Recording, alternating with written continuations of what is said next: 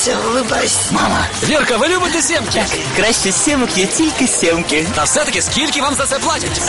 Не все в цьому житті продається.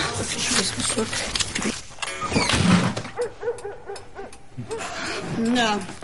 Ти у мене талантище. Самое интересное, мама, что ці сімки дійсно вкусні.